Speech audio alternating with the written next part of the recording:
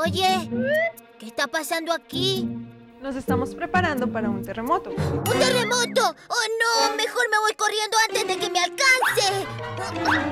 Oye, pero solo un simulacro. ¿Qué pasa, Tito? ¿Y esa cara? Lo que pasa, pa, es que allá a la vuelta había un terremoto y me vine corriendo para que no me alcanzara. ¿Qué cosas dices? Seguramente era un simulacro. ¿Simulacro? Ah. Me pareció escuchar que se había roto uno de esos.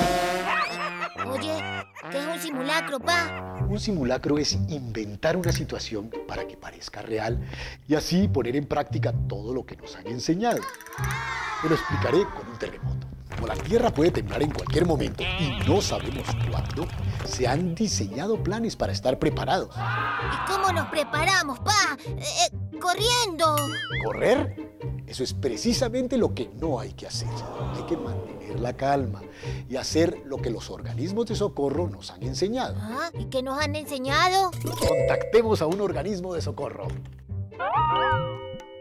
Lo primero es que si sentimos un temblor debemos alejarnos de las ventanas o de las cosas que nos puedan caer encima. Podemos protegernos debajo de una mesa o de un mueble que nos cubra por completo. Si estamos en la calle, es muy importante buscar un sitio abierto y alejarnos de los cables de la luz y de los postes. ¿Y si el temblor nos coge en el bus? El conductor debe detener el vehículo. Los pasajeros debemos mantener la calma. Es muy importante no entrar en pánico porque pueden ocurrir accidentes. Cuando todo termine, los pasajeros abandonamos en orden y en calma el bus. O sea que lo que vi era un simulacro, claro. Se estaban preparando para saber qué hay que hacer si ocurre un temblor. Sí, Titi. En los colegios y en las empresas y en general donde se concentra mucha gente, es vital hacer un simulacro con cierta frecuencia para que estemos preparados. ¿Y, y si estoy solo? Es muy importante que la familia tenga lista una maleta botiquín, una linterna, pilas, un radio, alimentos enlatados, un pito, la copia de los documentos de todos los miembros de la familia y las llaves de la casa. ¡Qué bien, pa! Ya sé que es un simulacro y qué hacer si hay un temblor.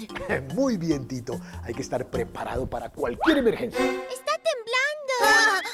La gelatina que acabo de preparar, ¿ves? Si el temblor me mueve, para evitar sorpresas, tomó mis medias nueve debajo de la mesa. Chao,